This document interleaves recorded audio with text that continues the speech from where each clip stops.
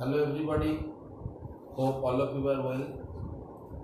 In my last class, I discussed up to the isomers of carboxylic acid. Today I will start from electronic structure of the CWH group. Electron and neutron diffraction studies show that the carboxylic group, that the carboxylic acid group has a planar structure. Thus a carboxylic carbon and two oxygen atoms okay in the carboxylic group are in the same plane and they are sp2 hybridized. If i draw the mo diagram then you can easily understand.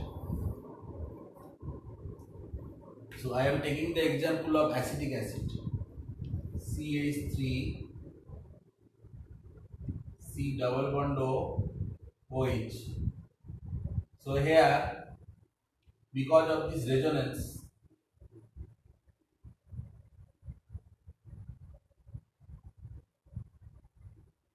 The both oxygen atom are sp2 hybridized.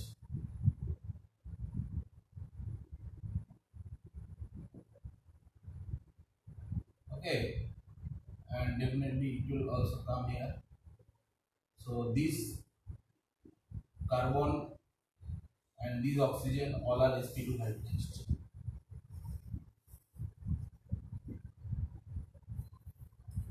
and this group will remain in the same plane. Okay? If i draw the structure then you can understand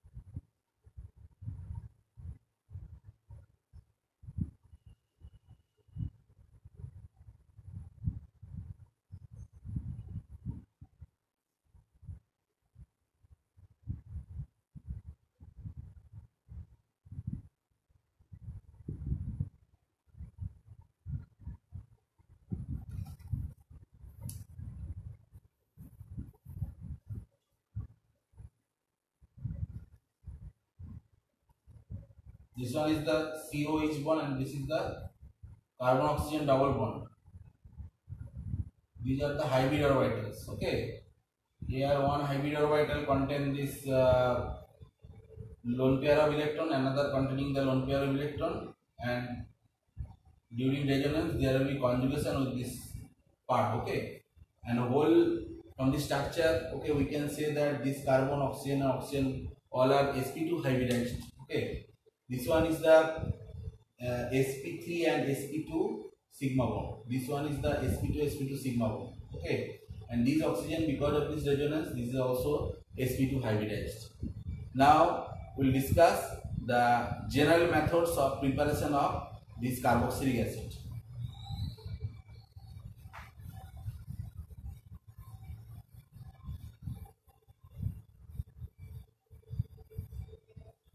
First one is the oxidation of alcohol. The preparation of carboxylic preparation.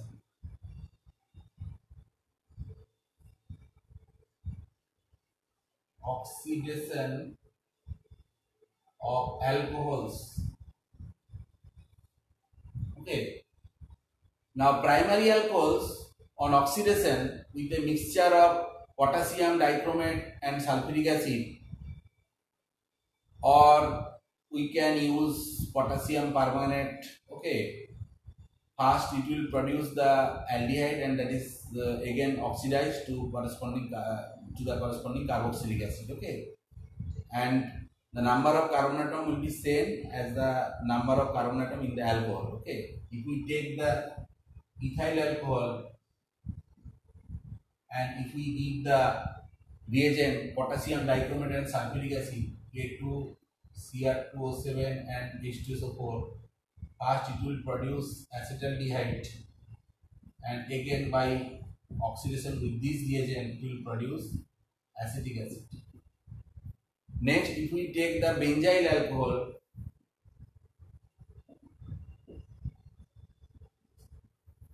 so if we use the same reagent, first it will convert to benzyl uh, dehyde. Okay. Here you can take KMNO4 in alkaline condition, that is taking that KOH. Again, this aldehyde, that is benzaldehyde will be oxidized to the corresponding carboxylic acid. So in this way, by preparation, uh, by taking the alcohol, by oxidation of alcohol, we can easily prepare the carboxylic acid. But if we take the, this is the primary alcohol, okay, if we take the secondary alcohol, what will happen? In case of secondary alcohol, we will get the ketone, okay. If we take this one, that is CH3, CHOH, CH3, if we give the uh, reagent that is the same oxygen potassium dichromate and sulfuric acid okay first it will form the ketone then this ketone will be again oxidized then this ketone will be again oxidized but here the uh, acid here the acid contain less number of carbon atom okay so here it will break there will be formation of acetic acid as well as formic acid so here the uh, we get the carboxylic acid less than um, the parent chain, less than the parent alcohol. Okay, number of carbon atoms. Next, we will discuss the uh, formation of carboxylic acid by oxidation of aldehyde and ketone.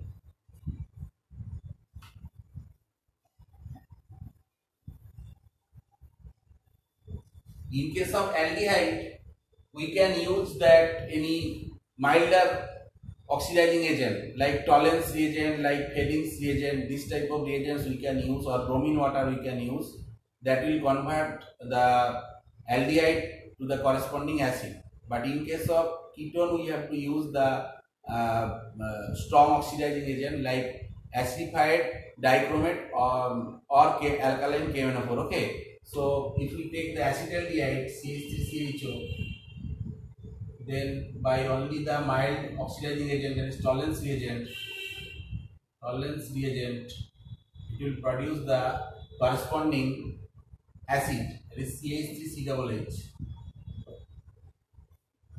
Now, if we take the ketone, we have already discussed the Popoff's rule. So here it will break and we will get the 2 carboxylic acid by using the strong oxidizing agent like potassium dichromate and sulfuric acid.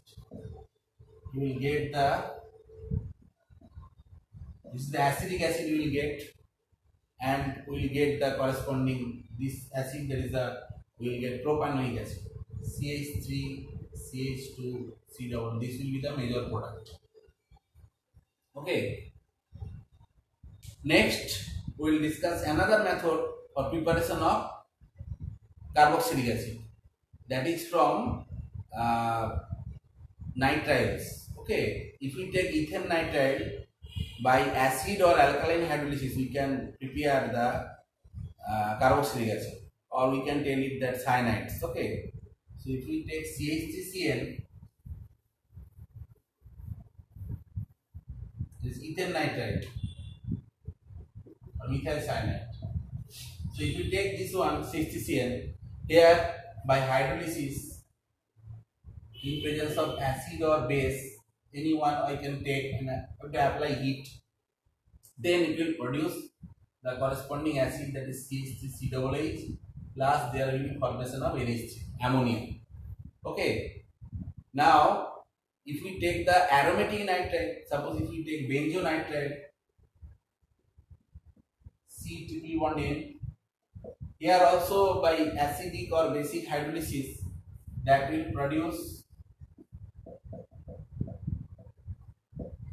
that will produce the corresponding benzoic acid plus NH3. Okay. So this is another method for the preparation of the benzoic acid. Next we will go another method that is the Grignard reagent method for the preparation of carboxylic acid. So you know that the preparation of Grignard reagent, if we take methyl bromide and if we add magnesium metal and here the solvent we have to use dry ether, then there will be formation of methyl magnesium bromide that is the Grignard reagent. Okay, if we react this Grignard reagent with carbon dioxide gas CH3MgBr plus CO2 okay carbon dioxide gas then the solvent we have to use that is the dry ether.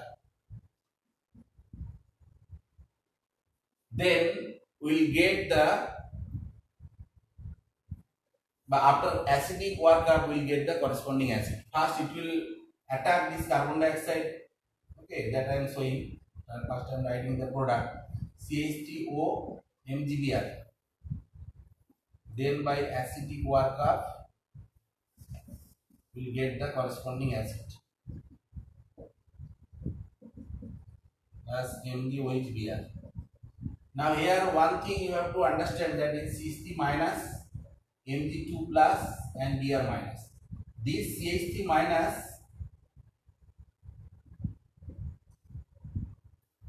will attack here and will get CH3CO minus MgBr and double bond O.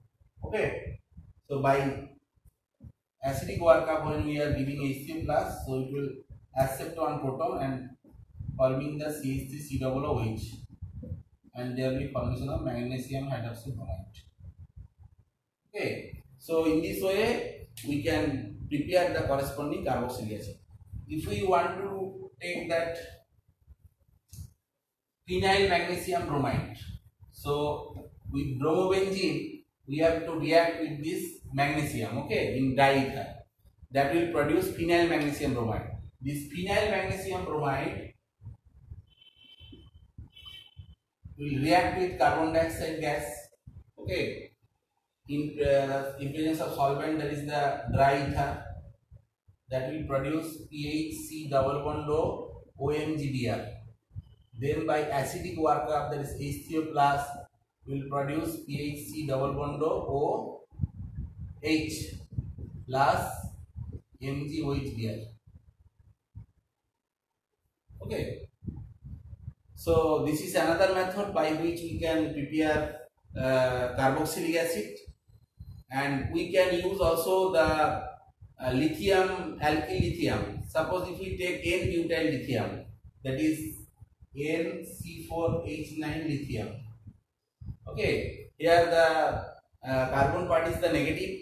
That will also react with the carbon dioxide and finally the acidic work will get the corresponding carboxylic acid. That is NC4H9 COOH okay so these methods are useful for converting alkyl halide into a carboxylic acid having one more carbon than the parent alkyl halide. Okay, so these are we can say these are step up reactions.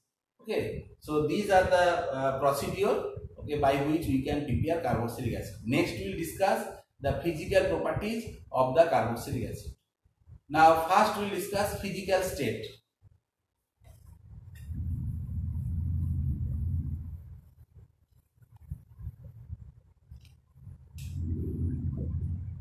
Physical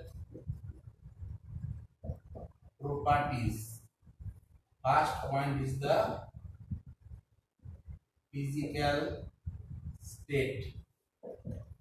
Now we know that the first member is the formic acid. Formic acid is a uh, colorless pungent smelling vinegar like smell is uh, there sorry not vinegar Formic acid is uh, pungent smelling, but next uh, member there is the acetic acid is vinegar like smell. There is also pungent smell, and we generally consume the dilute solution of this acetic acid that is called vinegar. Okay, and the acids from the butyric acid to the nonanoic acids are oily liquids with unpleasant odors, and most of the aromatics are uh, colorless solids. Okay, and if you think about the benzoic acid, that is also a solid compound, okay. And uh, if you think about the butyric acid, butyric acid has order of ran acid of butter, okay. So uh, these are the uh, physical state of different types of carboxylic acids. Next, we will discuss the boiling points.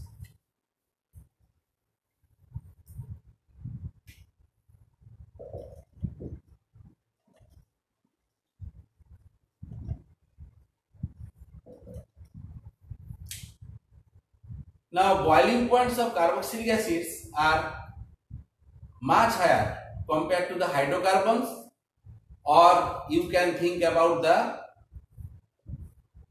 alcohol. Okay. If, if take example then you can easily understand and you have to take the uh, comparable molecular mass. First we are taking that butane CH3 CH2 CH2 CH3 In case of butane, what will be the molecular mass? It will be near about 58. Okay. If we uh, think about the boiling point, this will be around 309 Kelvin. Next, we will consider the propyl alcohol, that is the propanol CH3, CH2, CH2, OH, and its molecular weight will be 60. Okay, and if we uh, think about its boiling point, these are the boiling points, its value will be near about 370 Kelvin.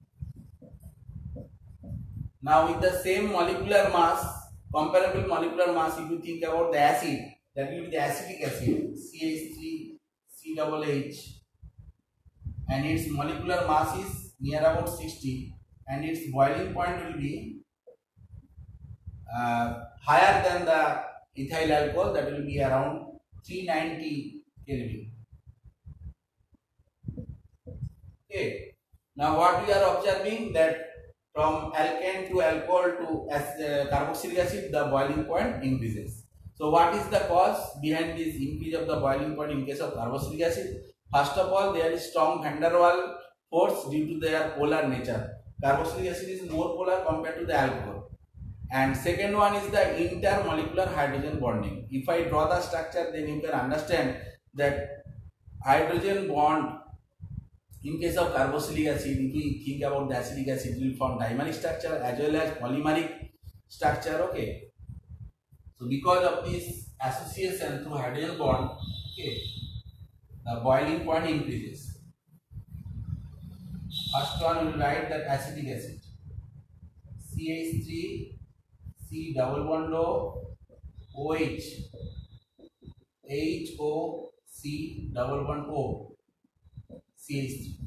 So this is the dimer and this is the intramolecular intermolecular hydrogen bonding. So forming dimer of carboxylic. And there is formation of uh, polymeric structure also through hydrogen bonding this CH3 in the aqueous solution they are generally forming dimer. Then maybe in vapor state, okay, they are forming or uh, forming that uh, polymeric structure, okay.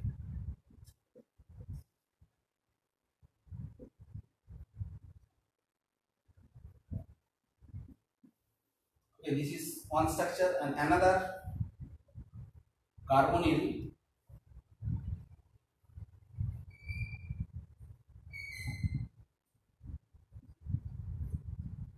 forming that hydrogen bond. Okay. So in this way, they will form the polymeric structure. Here also structure is hydrogen bonding is possible. Okay. So if we compare the boiling point with alcohol, the wedge bond uh, in carboxylic acid is more strongly polarized due to adjacent electron withdrawing carbonyl group. And the boiling points of monocarboxylic acids increases with the increasing in their molecular mass is due to the increase of van der Waal forces. So if we think that formic acid, then uh, acetic acid, then propanoic acid, then butanoic acid, definitely the uh, molecular uh, uh, with the increase of the molecular mass okay the boiling point will also increase because of increasing van der Waal forces next we will discuss the melting point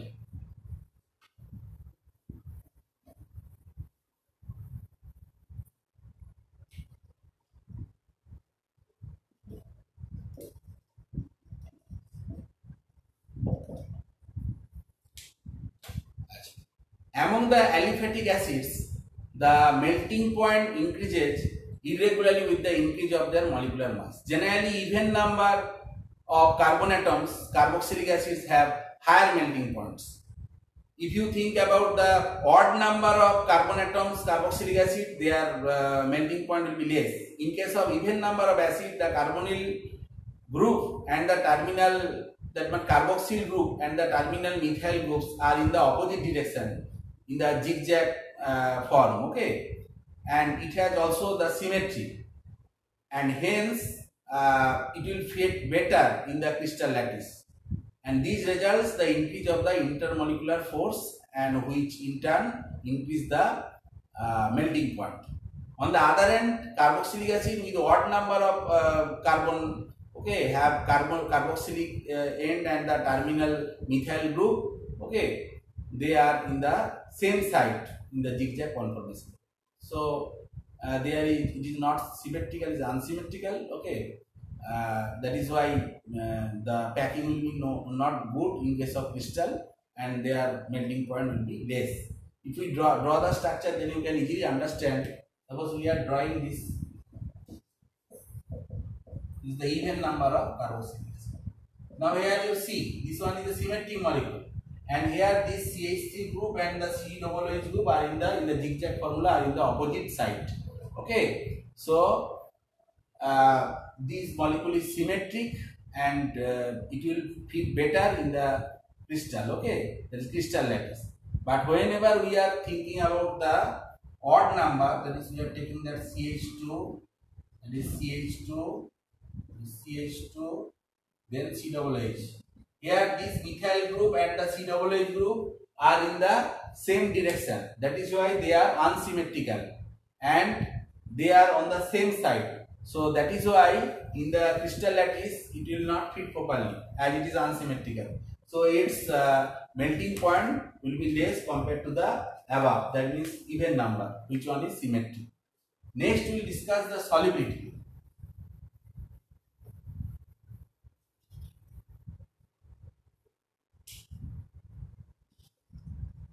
Solubility.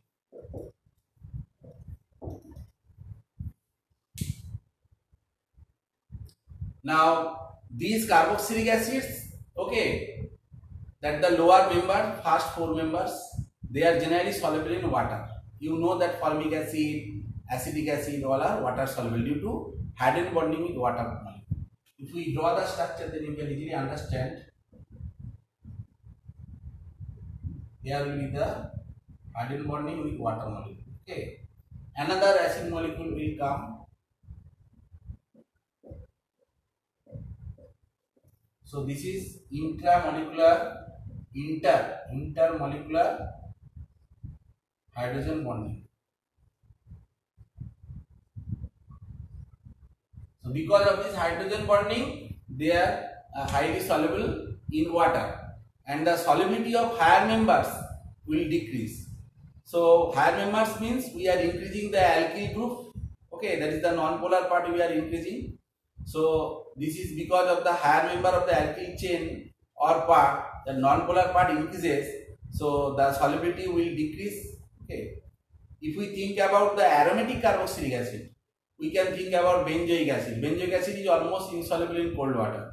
But if you apply heat and then in hot water, it is sufficiently soluble okay so in this way we have completed the physical properties Next we'll start the chemical properties.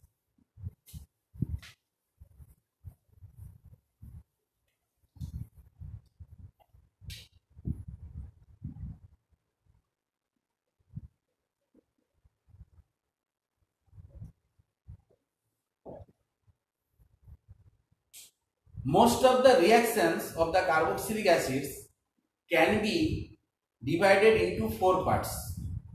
First, we think about the reaction due to the cleavage of OH bond, and next, reaction due to the OH part of the COOH, and reaction due to the COOH group, and the fourth one is the reaction due to the alkyl group of the carboxylic acid and the benzene ring. Okay, so there are uh, four type of reaction in case of carboxylic acid. So first we will discuss the OH OH part that means the uh, reaction due to the cleavage of OH part. So if we cleave the OH part definitely it will produce H plus that means it is acidic character. So carboxylic acids are weaker acid compared to the mineral acid. Okay, we know that organic acids are weaker acid compared to the mineral acid because uh, these acids are not completely dissociate in solution okay definitely there will be one equilibrium and the dissociation equilibrium for an carboxylic acid may be represented by the equation we are taking the example of acetic acid that is CH3COOH okay that will react with water in water it will dissociate and it will be in the equilibrium forming CH3 COO minus plus H3O plus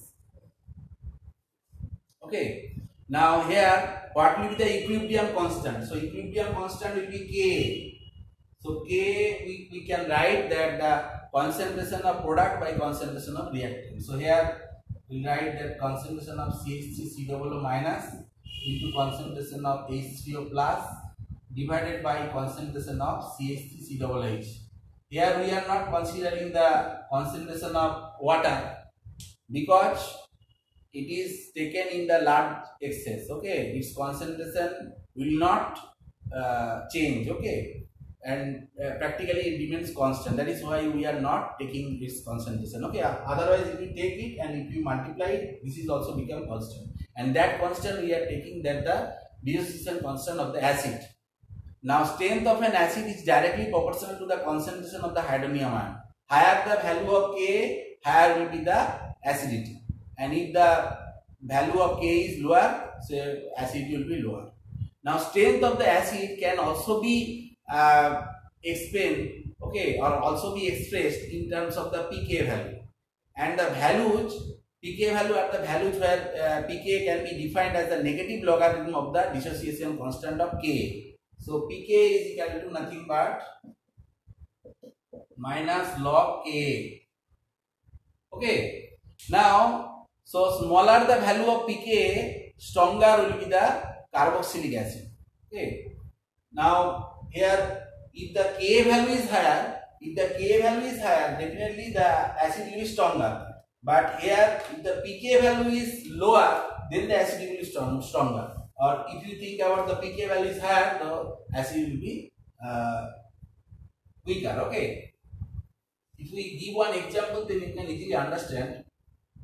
First, we will consider the example of acid, uh, formic acid, HCOOH. In case of formic acid, if we write the K value, so it is very difficult to remember. It will be 17.7 into 10 to the power minus 5. That is the dissociation constant of formic acid. But if we uh, calculate the pK value, that is the minus log K, its value will come near about 3.75. Next, if we uh, compare with the another acid, there is the acetic acid. If we take, what will be the value of the uh, K value of the acetic acid? That will be 1.75 into 10 to the power minus 5. So definitely the K value of formic acid is greater compared to the acetic acid. So which one is more stronger acid? Definitely formic acid. Formic acid is stronger acid compared to the acetic acid. But if we write the pK value, it will be very easier uh, to remember. Okay that will be 4.76. So here pK value is lower, that means acid is stronger. Here pK value is higher, that means acid is weaker. Okay. Now we know that if we introduce some electron withdrawing group, suppose if we introduce the highest electronegative element like fluorine here, then what will happen? Definitely it will pull the electron clouds towards its electronegative nature and acidity will uh, increase and its Ka value will be 260 into 10 to the power minus 5 so K value increases. So now uh, among these three acid, this fluoroacetic acid is uh, high high highly acidic. Okay. Now if we consider the uh, pK value, so it will be 2.59. So here pK value lower means the acidity is higher. Now what is the cause of acidic nature of the carboxylic acid? Now acetic acid, if we consider the acetic acid, if it loses one proton, then it will form the corresponding carboxylate ion plus uh, this carboxylate. So if this one is the acetic acid, this is an acid, and this is called the conjugate base of the acid. Conjugate base. Understand? So this conjugate base is stabilized by resonance and here we will get two equivalent structure. That is why this resonance stabilization is uh, higher okay compared to the main carboxylic acid. In carboxylic acid also there will be resonance okay. If we draw the structure then you can easily understand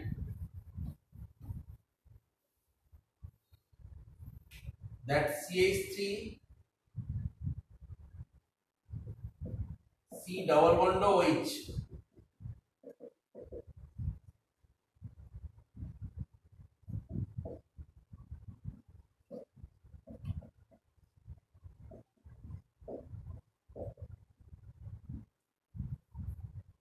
Now here see this one is neutral structure and here the charges are separated so these are not two equivalent structures but whenever after releasing of one proton okay when it converts the acetate ion if you draw the resonance structure, then you can easily understand that O minus will delocalize and forming two equivalent structures.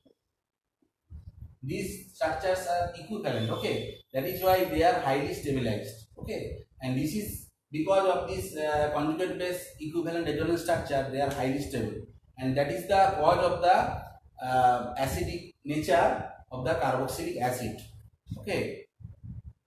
Next, if we want to discuss the influence of the substituent, we know that if we uh, introduce some electron withdrawing group, definitely it will increase the strength of the carboxylic acid. And if we in, in, introduce the electron donating group with this carboxylic acid, definitely it will decrease the acidic strength. Okay. So in this way, we have uh, completed. Okay, and um, today up to this. And next day we'll discuss more example and their cause of different uh, acids. And we'll compare their strengths also